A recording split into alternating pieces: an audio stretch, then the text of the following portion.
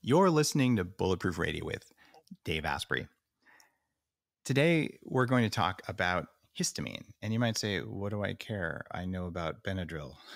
it turns out histamine is a major neurotransmitter that affects your awareness, your food cravings, how tired you are, how inflamed you are. And it's something that happens for all sorts of weird reasons.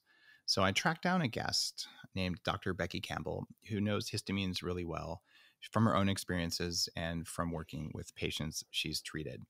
Histamine is one of the things to watch out for, even going back as far as 10 years ago when I first wrote about the bulletproof diet, that this is one of the things that can be messing with you in your food that you don't know about.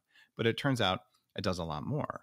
So, our guest today, board certified doctor of natural medicine, who has a virtual practice at drbeckycampbell.com, looking at histamine intolerance, thyroid, and autoimmunity. We're going to go deep on why does inflammation happen and why are you maybe hungry after some meals and not others and what are the other things that are going on.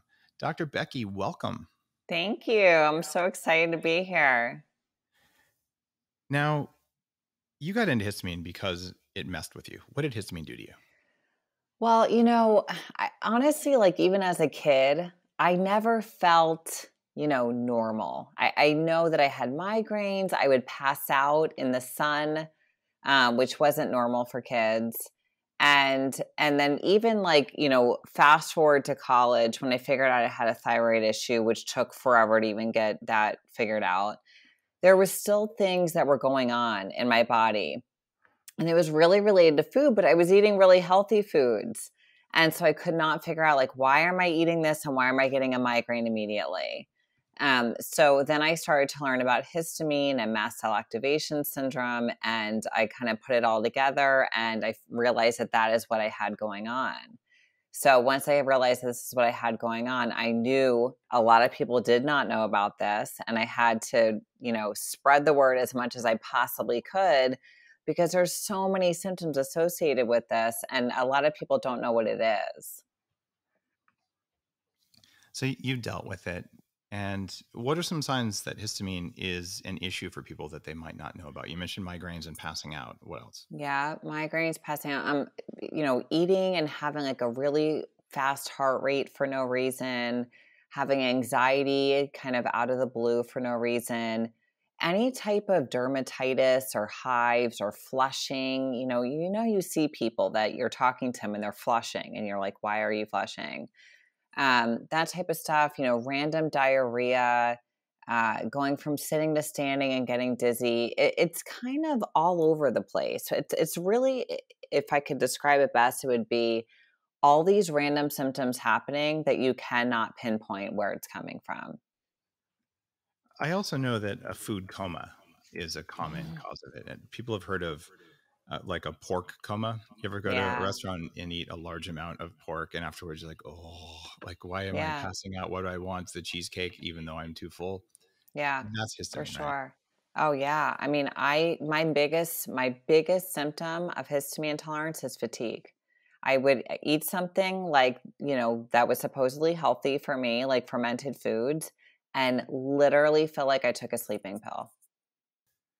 I've had exactly the same thing uh, to the point that I actually have a Benadryl in my in my bag, and if I eat at a restaurant, I'm like, yeah, that's probably a high histamine food. I'm yeah. not that sensitive, but sometimes like I'll eat it. I'm like, well, I feel like I just got you know a Valium, and then yes. you take Benadryl, and suddenly your brain turns back on in five minutes.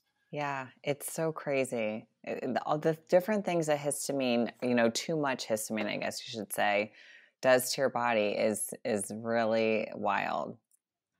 So I'm going to take a quick poll from our Upgrade Collective members who are live studio audience here. Uh, guys, does it sound familiar? Just kind of raise your hand and wave at me. yep. So uh, probably half the people are saying, "Yeah, I know what you're talking about." And are some people histamine resistant? Like, like they can just eat whatever they want; they don't have a problem.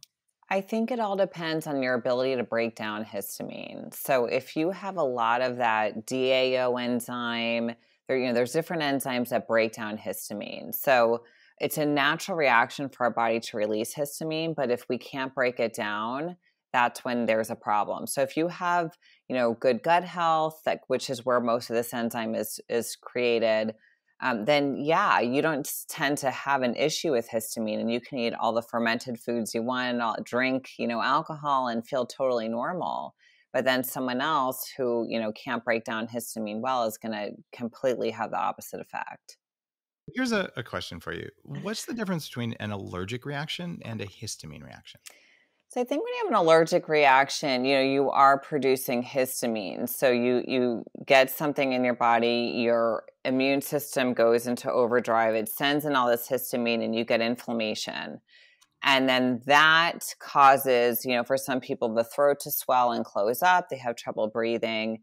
You know, that's an allergic reaction.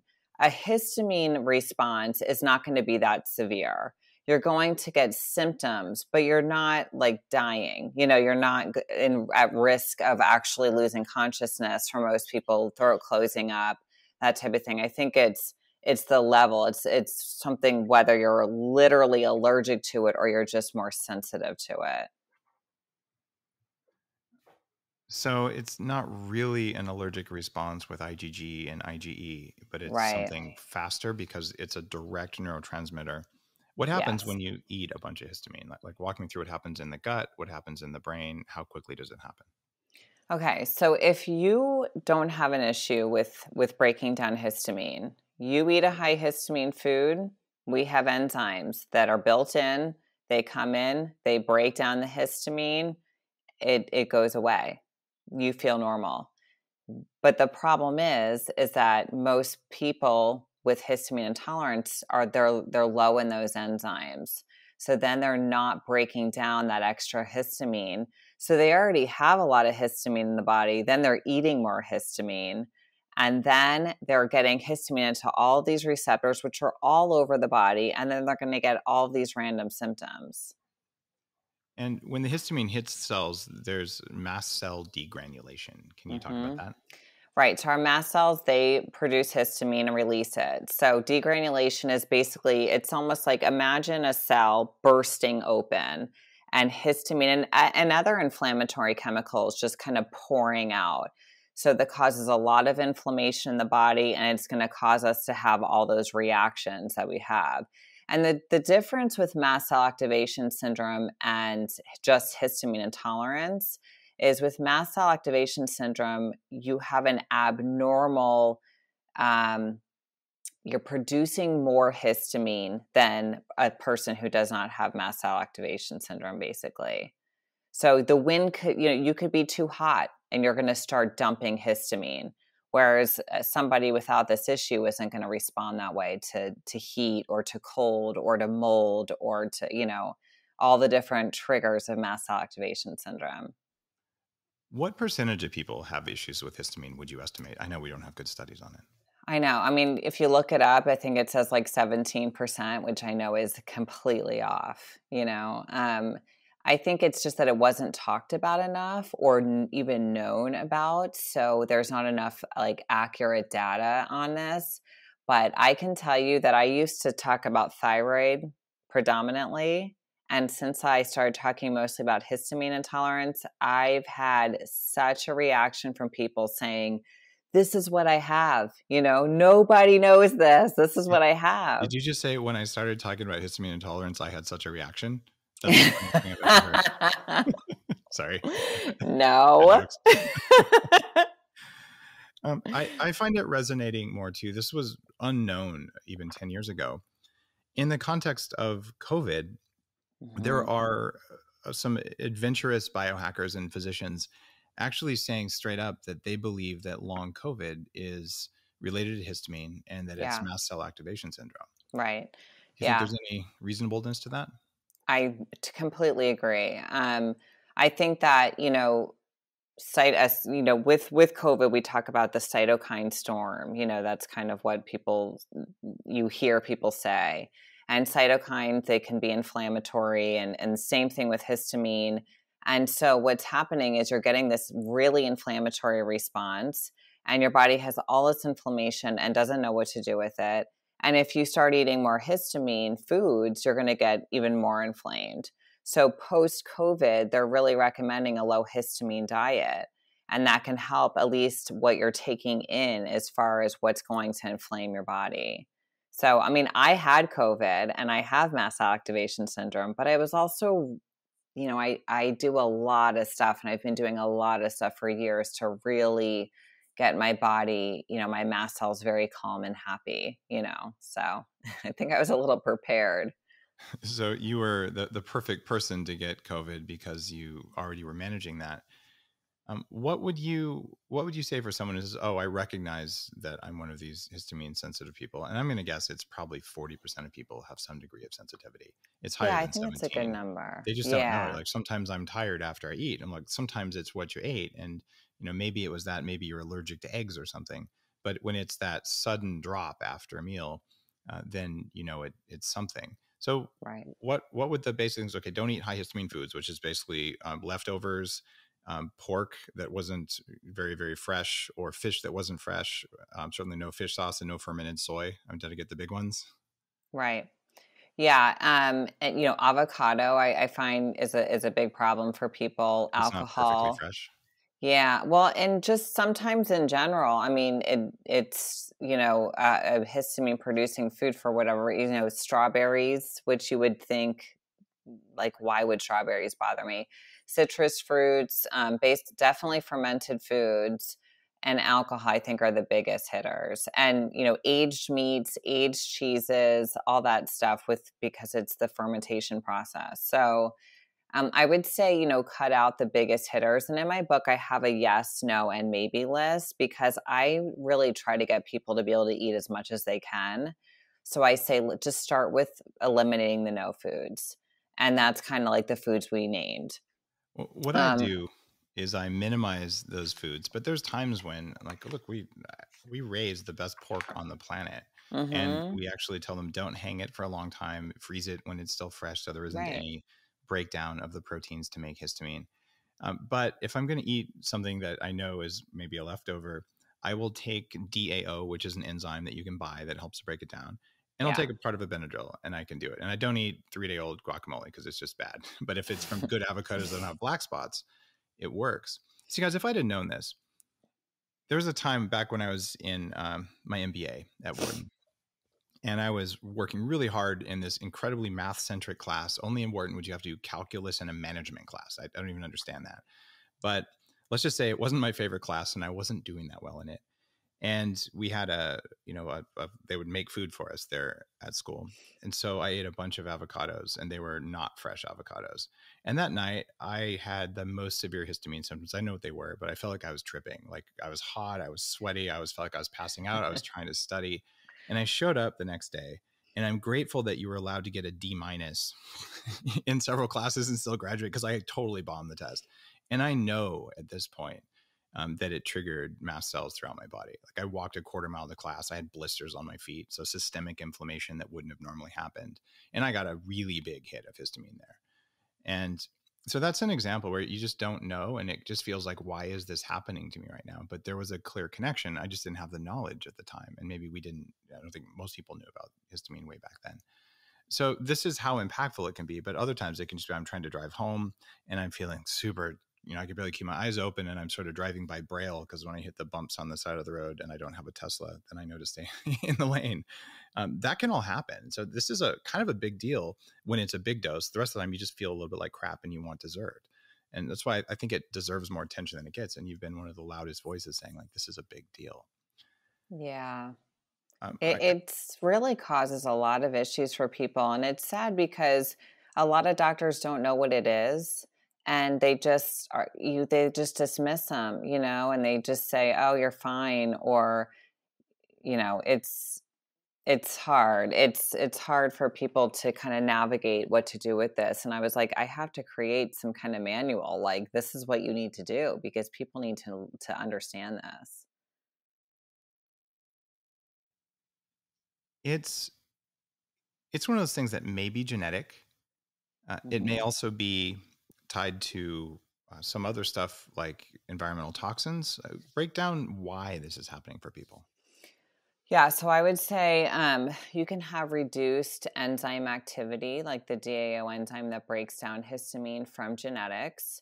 You can have it from vitamin deficiencies like vitamin C, copper, different vitamins.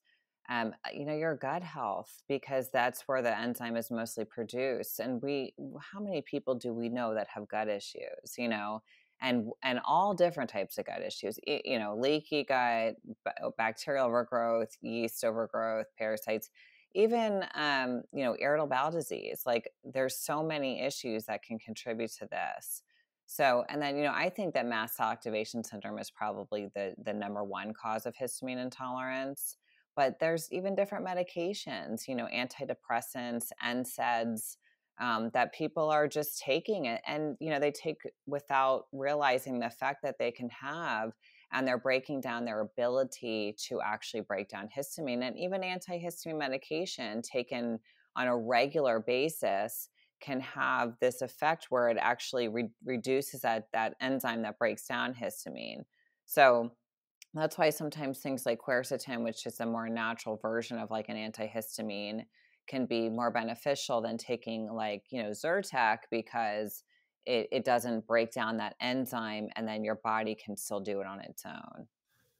So, things that help with histamine intolerance uh, from my own research um, vitamin C, mm-hmm. quercetin, zinc.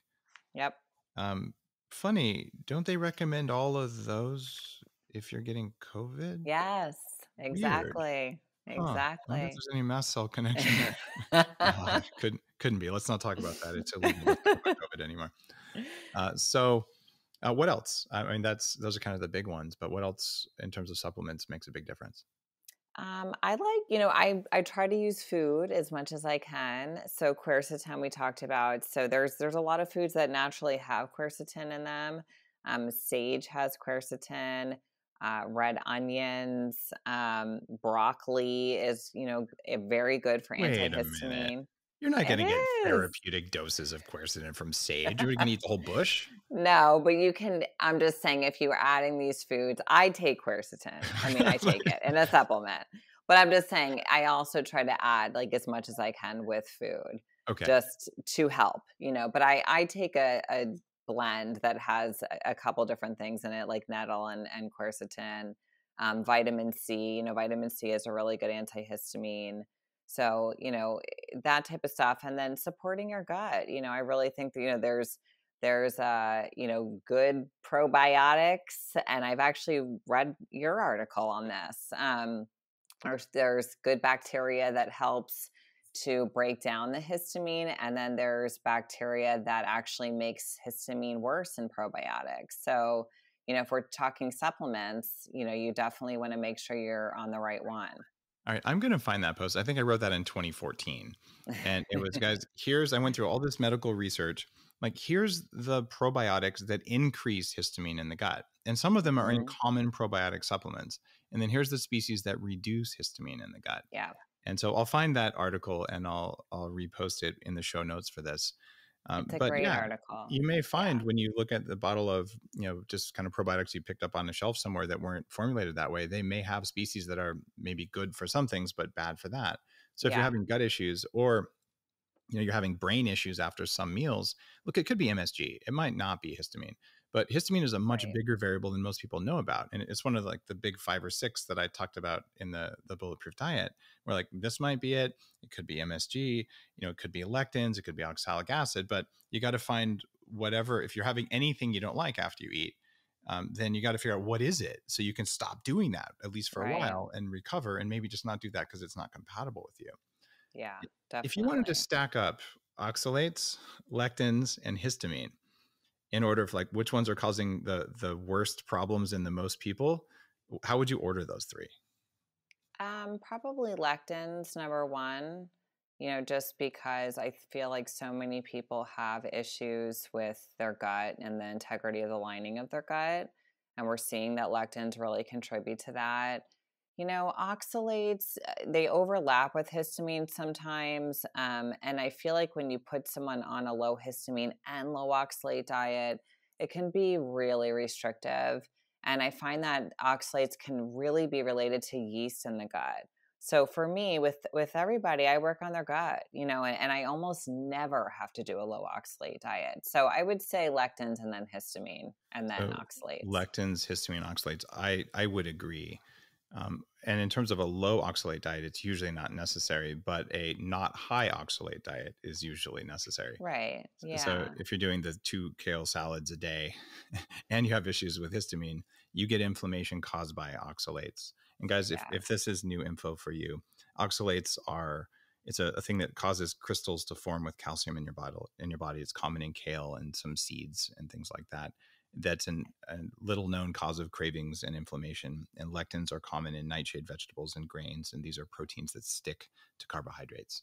So these are things yeah. in food, and just look at every food as a mix of energy plus good stuff plus stuff that might be causing problems for you, and sometimes stuff that always causes problems for people. And the approach that I've been advocating is eat less stuff that causes problems for you Right. that has the right amount of energy for you and lots of nutrients and magically you feel better and if histamine is one of those things causing problems for you and you're eating it all the time because you think that sauerkraut's good for you, well, maybe, but if it's got spicy stuff in it, which has lectins, and the ferment that was used made a lot of histamine and you don't know it and you know sauerkraut's good for you, you'll eat it every day and you'll have brain fog and cravings all the time and know you're doing the right thing for your gut even though it's not working. That was exactly me. so. And bone broth, right? Because a lot of people, you know, went on this bone broth crave or craze and it's good for many people but for people you know the with what people don't know about histamine is the longer you cook something the more histamine is is kind of produced in it. So when you cook 48 hours you know in your crock pot bone broth and you don't feel well it's probably because there's a lot of histamine in that bone broth you're drinking. So maybe it's not right for you. a huge number of people say oh bone broth but it has collagen but it usually has substantial amounts of histamine in it. And mm-hmm. if you take the meat out entirely, you get a lot less of it. So if you're actually making bone broth that doesn't have meat that's been cooking for a long time, you're much more likely to feel good afterwards. But I find a, a shorter cooking of bone broth usually works better. And if you yeah. drink bone broth and you get food cravings and you want ice cream afterwards, that's not the bone broth for you. So mm-hmm. it's something you have to be really careful of. Yeah, I do instant pot bone broth. Yeah, instant pot is a good way to do it. And even with sous vide, which is one of my favorite cooking techniques, yeah. if you don't get the temperature right or you cook it for too long, you can make tender, amazing ribs or whatever, but then you eat it and you feel like crap afterwards. Or maybe you feel fine, but your spouse feels like crap because they're right. more sensitive than you are. So, so true. If someone eats a meal with histamine and like, wow, I'm I'm having something going on here, how do you take immediate action to feel better? Well, it depends on the degree. I mean, you talked about Benadryl, and I do tell my patients, I'm like, if you're having a severe reaction, take some Benadryl. Hopefully, it's not the one with the dye in it. Um, but, you know, take some Benadryl if it's very intense. Um, but if it's not, I, you know, I tell people, I'm like, let's say you want to have a glass of wine. Let's say you want to have some dry farm wines, right? We know we've both had that um, take some quercetin or you know some product with quercetin and, and some natural antihistamines in it before and maybe some liver support and then take some after and that will help your body get rid of it and also help to kind of calm down that histamine response. So it really just depends on how severe the response is. There's definitely different avenues you can take. It, it's really funny how many people say i can drink vodka but i can't drink wine and that's you know original uh, original, hey, here's the alcohol roadmap from I think about 10 years ago. And it's been, you know, making the rounds on the internet ever since. And so now we have cleaner wines, like we mentioned, yeah. Dry Farm. Um, they they test their wines for things like this, but a lot of wines, even high end wines, you drink a glass of that, you don't feel good the next day. What percentage is ochratoxin A versus glyphosate versus other yeast toxins versus histamine? I don't know. But there's a lot of stuff in there that if you were to distill it would not be present. And that's why vodka generally works better than wine. But if you wanted to do the wine and you do the stack uh, that Dr. Becky just talked about, and maybe add some activated charcoal before or after, um, not right at the same time as the supplement so it doesn't inactivate those, um, then maybe you can have that glass of wine and you're not going to feel like garbage the next morning. And, and that's useful because wine, it's nice. You know, there's there's nothing wrong with it, but if you do it every night, you probably won't like how you feel. Yeah, and white is is it easier to tolerate versus red when you have histamine issues. Dry white French was the lowest mm-hmm. in the mm-hmm. research that I did, um, and it's good. totally good. and sadly, for my friends in California, um, even organic California wine is now high in glyphosate because they've pretty much saturated the state in glyphosate. So it's hard to get away from that, and you'll feel very different if you do that. Um, if you do that in different, uh, just from different regions of the world, and it's one of the reasons I like the, the dry farm stuff. One of the other things that happens when people either don't break down histamine enough in their bodies because their gut bacteria aren't working right, or their liver isn't working right, or it's genetic, or they have toxins or parasites, or something going on here, is they get this mast cell activation where cells are prone to inflammation. And this can lead to things like hives, uh, low blood pressure, uh, even problems breathing, like real severe diarrhea, and things like that. Many people have low blood pressure, this this POTS, the mm-hmm. postural orthostatic hypotension. Um, yep. I've had it for a good portion of my life. I have a genetic thing, so even as a kid, I had low blood pressure. I thought you were supposed to see stars when you stood up. It's been that way same. for my whole life. Yeah, uh, you're the same way. Yep. Okay. My whole so life. I, have hacked that for years. Um, and not necessarily through histamine pathways, although I take all that stuff anyway. Um, mm-hmm. But just by making sure I have adequate cortisol because I genetically have low cortisol, which is not a good thing. You'd rather have mm-hmm. high than low cortisol. Yeah. And uh, Nick Foles came on the show, uh, you know, the, the uh, MVP for the Super Bowl, and a, a good friend. And his wife Tori has POTS, and several other guests have talked about this before. So this is something where you can have someone you work with someone in your family, and if their blood pressure is just a little low, there's not enough blood in the brain, and and it really feels like you're drugged all the time. It's not a yeah. good thing. And there's a connection between histamine and low blood pressure or episodes mm-hmm. of low blood pressure. What is that connection? Well, we our mast cells are in our connective tissue, you know. So it definitely when we're releasing a lot of histamine, that definitely is going to control what's happening with things like blood pressure. So we when when histamine is released, we start dilating our blood vessels. So when our blood vessels are dilated, our blood pressure is going to drop.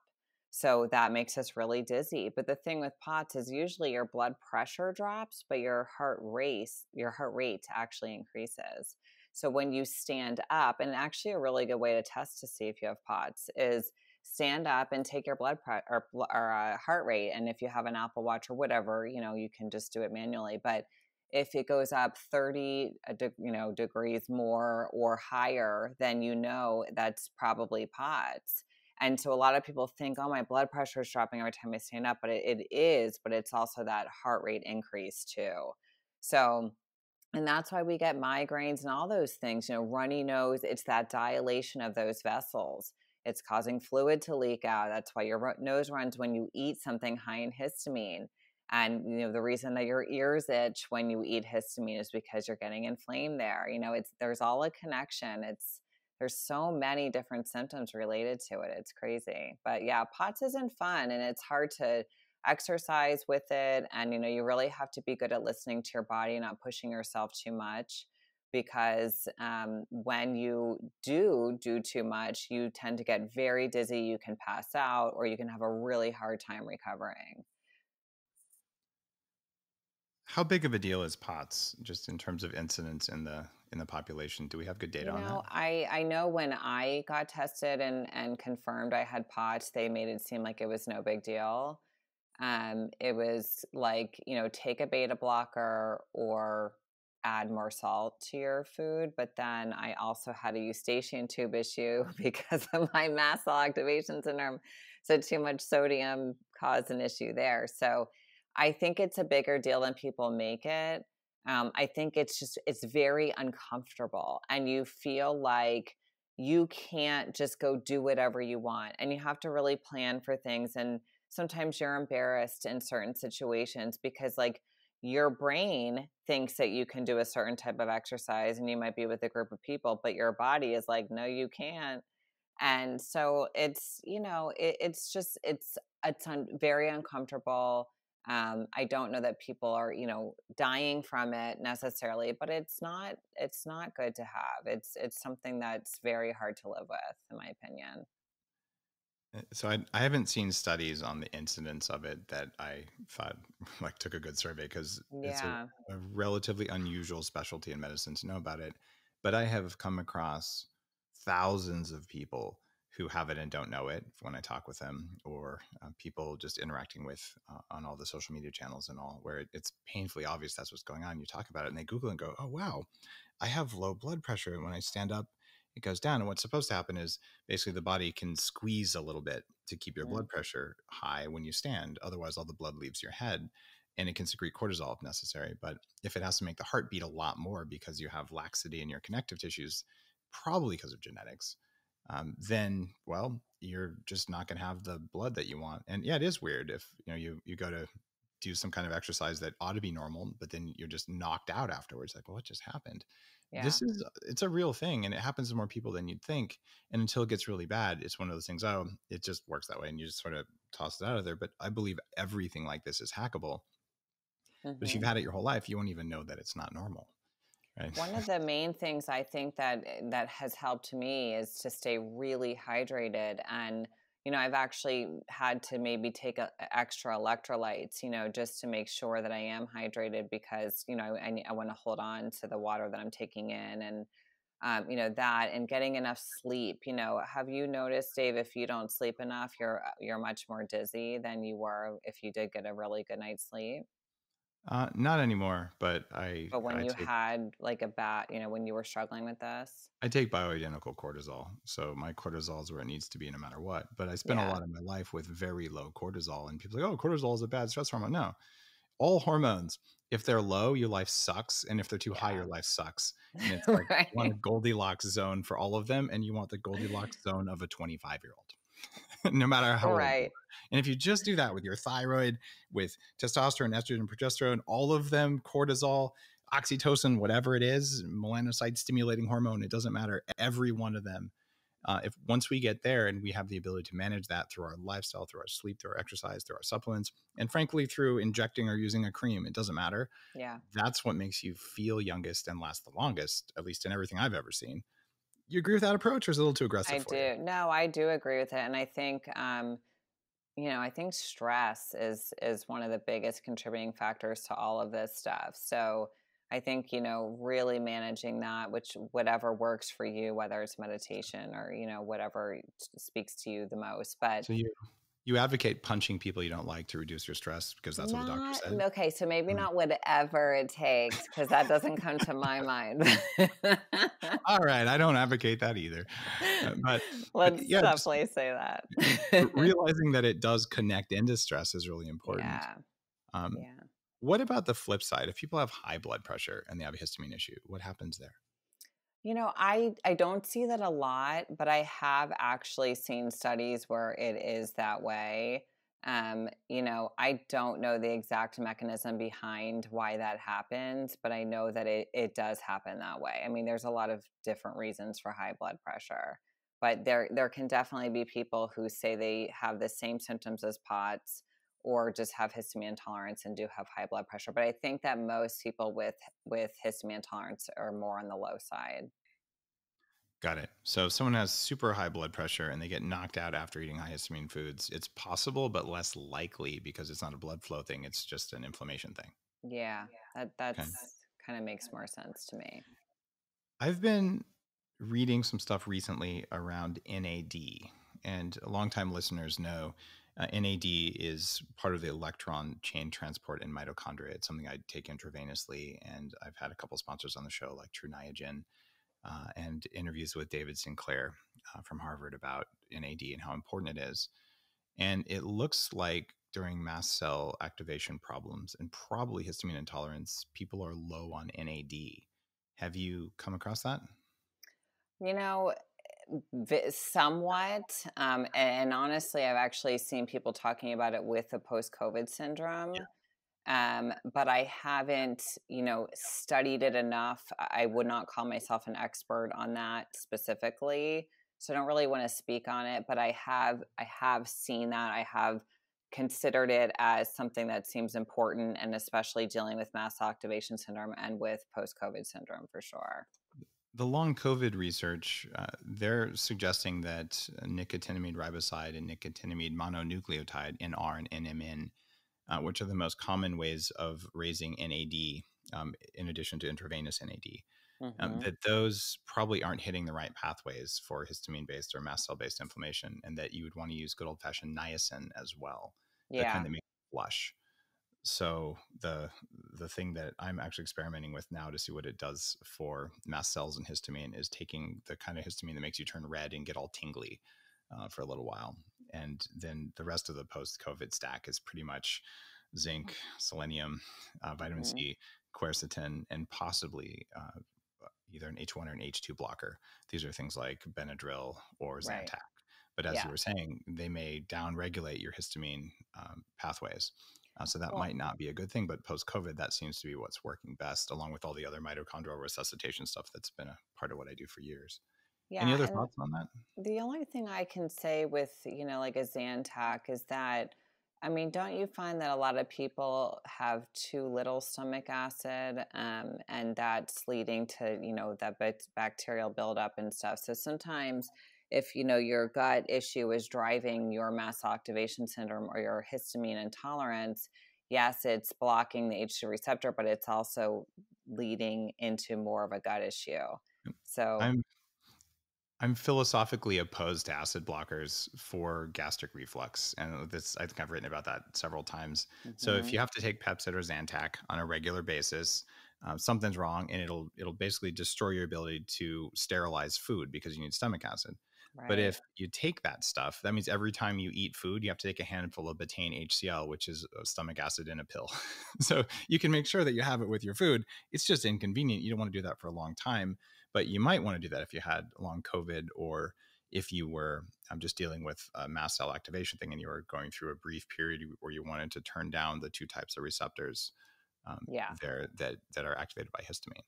And, and interestingly, when you're doing stem cells, um, an experienced stem cell practitioner like, uh, say, Dr. Harry Adelson, um, the guy at Docere who, who did um, my whole body stem cell makeover, um, you can take Zantac right before or right after the procedure just so you get less inflammation afterwards because anti-inflammatories the traditional ones actually stop stem cells from working but lowering the histamine inflammation means that you'll be less puffy and it's it's kind of funny i did stem cells once and the next day i was on lewis howes show and I didn't do Zantac. And I'm like, I have like the puffiest face I've ever had in my life. I don't even look like a healthy person at all, but you're getting a systemic response from that. So sometimes you deal with short term pain for long term benefit when you're biohacking, that's for sure. But yeah. a lot of people don't know anti those anti antacid or anti the proton pump inhibitor drugs. Those long term are going to be really bad for your gut and your health and your bones, and it's just a bad and deal. Absorption. But, but short term, if you're super puffy, maybe you should just take it for a day and it's probably okay. Yeah, and I think that's the misconception people have. They're so afraid of medication that they don't even want to take it once. And I'm like, if you have to take Benadryl because you're having a severe reaction, take Benadryl. Just don't make it your daily routine. Um, so yeah, I, I, definitely agree. You know, and and even with the the COVID vaccine, they're saying you know maybe take an antihistamine before you get it, or take Benadryl because they see what it's you know it's causing this histamine response. So it's fine to do that. It's just that that's not what you want to do all the time. It, you don't want that to be your answer to histamine intolerance. Um, that's actually a really good idea. If you don't want to feel crappy after you get after you get it, uh, I would probably look at a Zantac and a Benadryl. And you yeah. might be tired from the Benadryl, but um, yeah, that seems like very sound advice. I hadn't thought of it. Thank you. No problem. Did you get the vaccine? No. What do you think about it?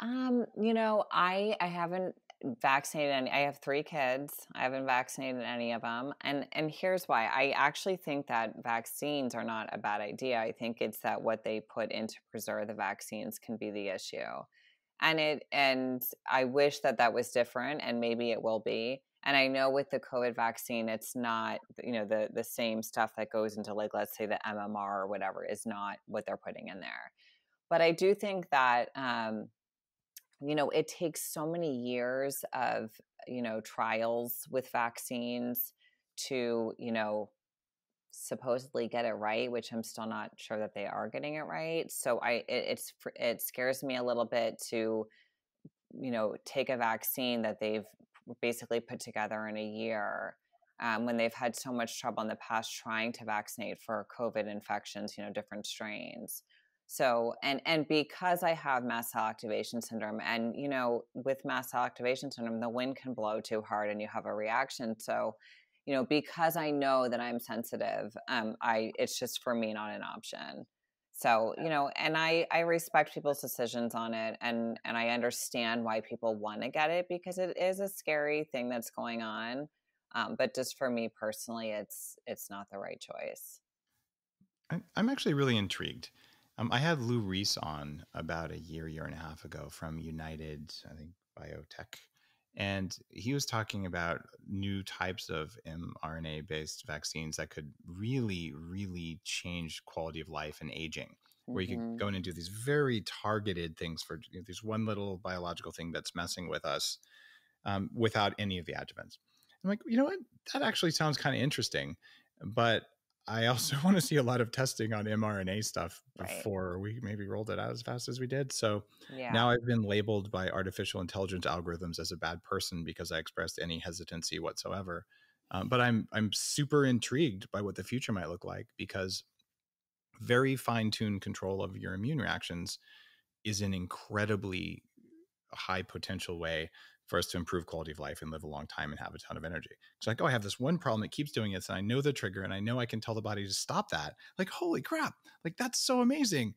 But like, let's see, let's see what other activation of the immune system happens in it for a little while before I'd want to sign up for, yeah, you know, a bunch of those. And you know, let's look at long term consequences. But I'm I'm open minded. That's for sure.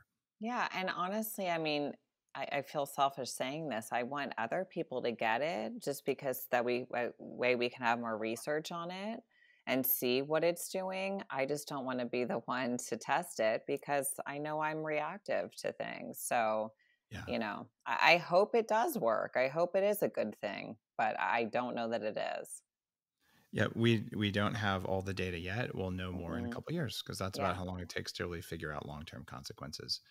Um, but uh, whichever way, it, it's a personal decision people make. And what I remind people who are freaked out on either side of, of that debate that shouldn't be polarized at all, it's that if you do get it, based on the data we have so far, it looks to be pretty safe because like a billion people have had an injection and not that many of them had a problem. Yeah. And if you do get COVID, if you're not in a high risk category, it looks to be like it's relatively safe. Right. because a lot of people have had it. And in some countries, the ones that that supplement niacin in their grain like India, they've had very few problems. Everyone got it, and the death rate was a tiny fraction of what they expected. So maybe if you're just biologically prepared in the right way, um, either way, your risk is low. So it, it's like not damned if you do, not damned if you don't. But there's yeah. risks on both sides, and like we can just be like oh, in the middle. It's okay to be in the middle. It is okay to be in the middle. Thank you for saying that because yeah. everyone thinks you have to pick a side, and I do take niacin, by the way. Um, yeah. I, I take a supplement that has niacin in it, and it make it it's good for me. It works How well much do you take me. every day? I think 400. Um, it's it's around 400. There's a there's a few okay. other things in there too. It's it's a stress reducing supplement, but I have MTHFR, and you know I take you know the methylated folate, and I take the methylcobalamin, but I also need to take a little niacin sometimes to kind of calm me down too. So it works Got it. Well. I do 500 a day. So you ever see me on Zoom and I'm bright red? Well, that's because I just took my niacin. And when I'm feeling super aggressive, I'll hop, I'll take it before I get in the sauna. But if you do that, wait 20 minutes and take some activated charcoal because you're going to detox like crazy because of yeah. the increased circulation that happens. Um, very cool. Well, thank you for sharing info about this this mysterious thing that messes with some people, doesn't mess with others. And can you run through that list of high histamine foods, the ones most likely to be yeah. offended? Yeah. And I actually, I wish I had it up and ready. Well, I actually have like a, I'm a big chart person. So I, in my book, have tons of charts. And I actually break it down by like high histamine foods, histamine liberating foods, and DAO enzyme reducing foods. But and tell me the name of your book again. It's the four phase histamine reset plan. So this is the cover. Guys, um, it's, a good book. If you're uh, if you've got histamine or this push the button for you, um, it's it's got actionable, useful charts in it. And one of the hardest things to do as an author is actually summarizing huge amounts of information so you just have what you need to use it. So I've actually read the book and I was like, yep, yeah, I like this. Um, it makes sense. And it was you. easy to absorb. Uh, yeah. Like I'm a chart person for sure. So aged foods, you know, leftovers, um, you know, really co- foods that have been cooked for a very long time, like we talked about with bone broth, fermented foods, alcohol, you know, aged cheeses, Um, and then with avocados, for some people, yes, some people it's not a problem. Vinegars tend to be an issue. So things, you know, made in vinegars or, you know, olives are fine. People think it's actually the olive, but it's actually the vinegar that the olive is sitting in. Um, you know, certain nuts like cashews and walnuts are are higher in histamine than others like almonds. Um, I think those are probably the biggest, you know, fish that's not fresh, meat that's not fresh. But I am by no means not you know a vegan or vegetarian you know personally i'm actually eat i'm pretty you know i eat a lot of meat um, that's just what my body likes so i just make sure it's fresh um, you know same with seafood and uh, that those are the biggest hitters i think probably a little asterisk on there. Uh, apple cider vinegar is the lowest histamine, lowest mycotoxin, lowest all toxin vinegar by orders of magnitude from right. the other vinegars. That's yeah, and that's usually fine for people. And some people, you know, when I had a bad issue with, um, I had a hiatal hernia and I was getting food like literally sitting right here. I was drinking apple cider vinegar, you know, with a little water, and it was fine. So it's more like balsamic or red wine vinegar, especially malt, you know, anything like that with gluten and stuff in it is usually the problem.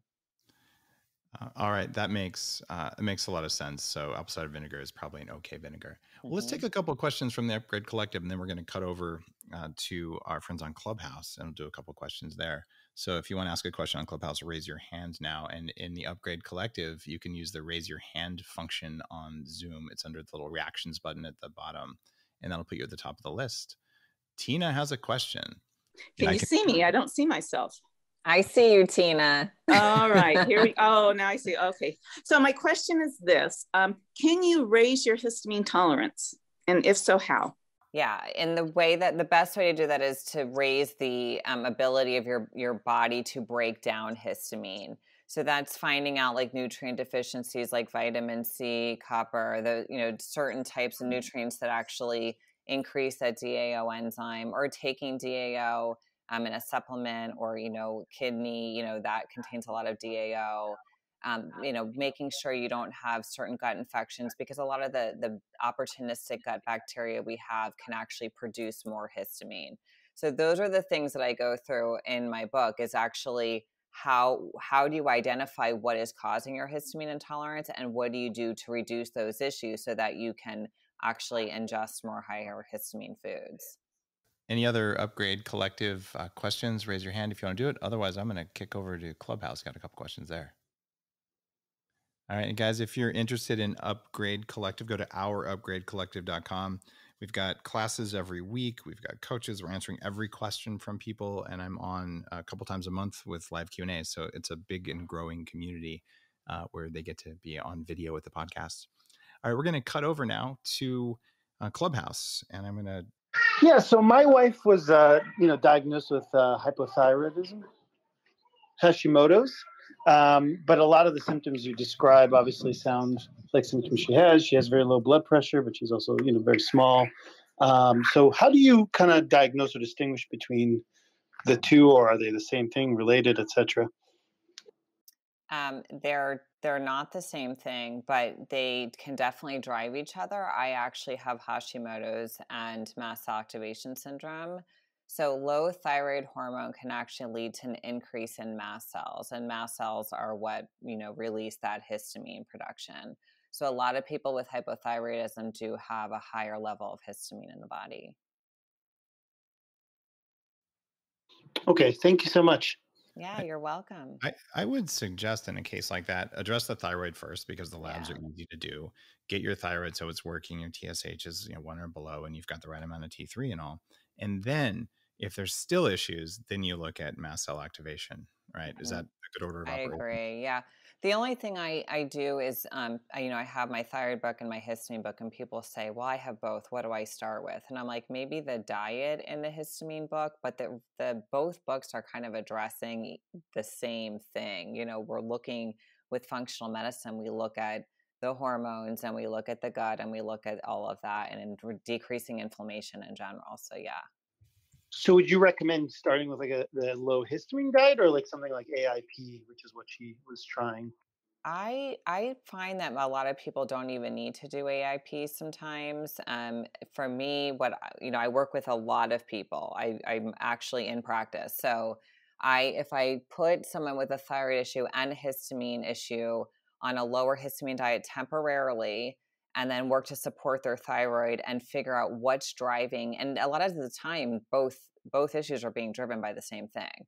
So if I look to find what's driving these issues and work on that simultaneously, then I find out that you know you can start adding more foods that contain histamine but are still really healthy for the thyroid.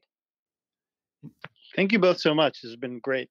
Uh, you're welcome. If you look at the the bulletproof diet, the first two week induction phase, um, it uh, it came out probably around the same time that AIP came out, um, and um, both of those have roots in uh, Donna Gates's work, who wrote a book called The Body Ecology Diet in the early 90s. Uh, and uh, we've become friends. And uh, what you find there is that when people remove the vast majority of offenders for a brief period of time, they're like, oh my God, look what I'm capable of. I can't believe I feel this way. And then you go in and then you say, well, I'll have the pizza, beer, cheesecake, and sauerkraut and whatever else. And you're just wrecked. And you're like, okay, I've proved to myself that something other than my willpower is the issue here. Uh, so now I'm going to have to do the detective work. And it's different than, say, an elimination diet, which takes about 18 months. And I did this a long time ago, where, okay, every four days you can only eat one food from this category. And it's like spreadsheets of garbage to find out what that one food is but it's a lot easier. Just don't do anything that's likely to be offensive. And when you look at the Bulletproof Diet Roadmap, daveasprey.com slash roadmap, it's free. There's like a green zone, and those don't mess with most people. and, you know, do my best to balance between all the different big five things that mess with people. And then you say, okay, what would work for almost everyone. And then I would say 95% of people who try that, like, I felt much better. And then you might be, or your wife might be, oh, I'm a histamine person. And you might be an oxalate person. And you may be one of those people who's like, I can eat whatever I want. I feel good. Of course, your labs will look terrible if you do that, but at least you feel good. So we all have our different strengths and weaknesses. And it's, um, it, it's remarkable just when you stop doing the stuff that's punching you in the face with food that you don't know is punching you in the face. Like, oh, it's not normal to feel that way anymore and and that's the big gift it's just it's not the same for everyone and i think histamine deserves a big spotlight because there are people walking around just wondering why they feel like they do half the time and they just can't figure it out and yes it's histamine in your food because your body doesn't handle it well even if someone else does and it's okay you're just different people that was why i wanted this whole episode so thanks for that question Yaniv. Just just one follow-up to that is is like taking zyrtec or benadryl a way to diagnose meaning like if you feel better with one of those is that like a way to kind of at least get some evidence. Becky, what do you think? I think if you feel better on antihistamine, yeah. I mean, if you're reducing the histamine or body and you feel better, then yes. Um, but then I think you just switch over to something that's a little more safe long term, something like quercetin. Um, and if you you can probably still get the same effect. And then if you're lowering the foods that are adding histamine to your body, then you'll feel really well.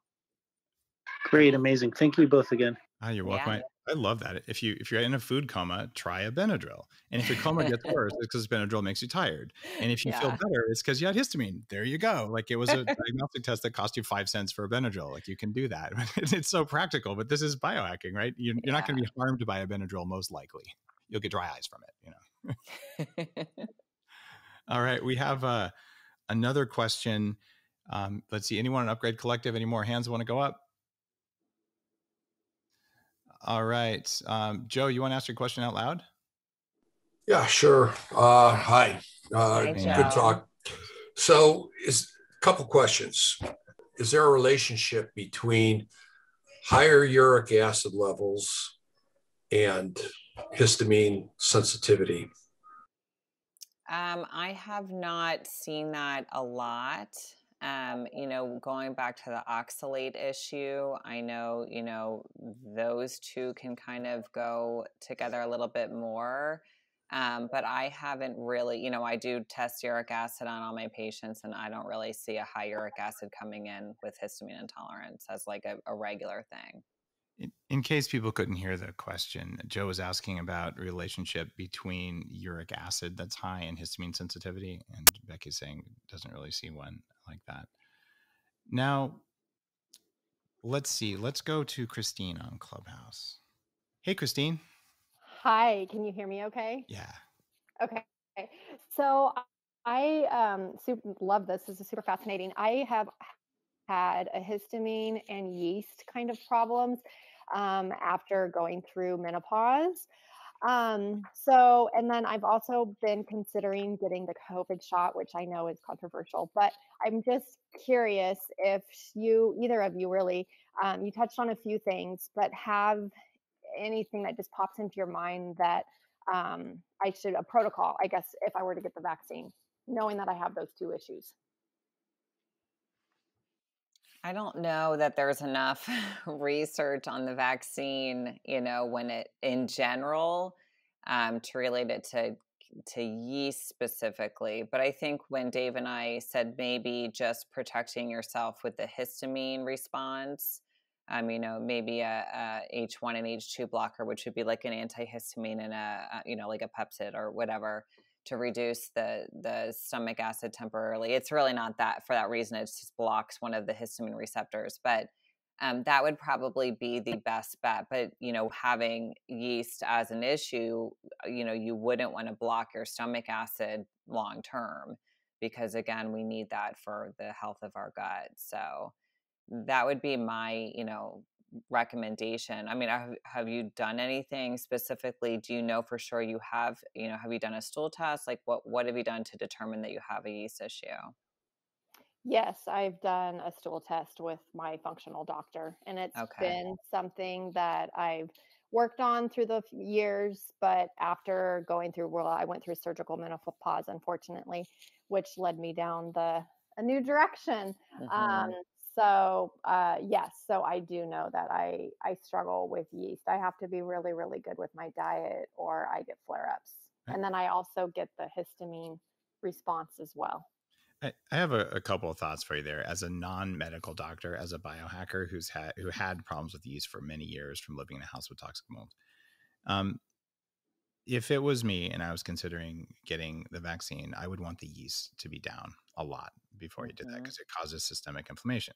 So I would want to go on fluconazole for 30 days, monitor my liver enzymes, and take my glutathione to protect my liver while I did that. In case you're one of the two percent of people who gets a problem, fluconazole kills yeast very, very effectively, maybe with some nystatin. And then when you're at a much lower yeast level, then it would be a better time to get the vaccine just because gotcha. you're going to be able to handle it better. And if you've never gone on an extended fluconazole thing, fluconazole with uh, did it work? Um, yep, I've been on both, uh, okay.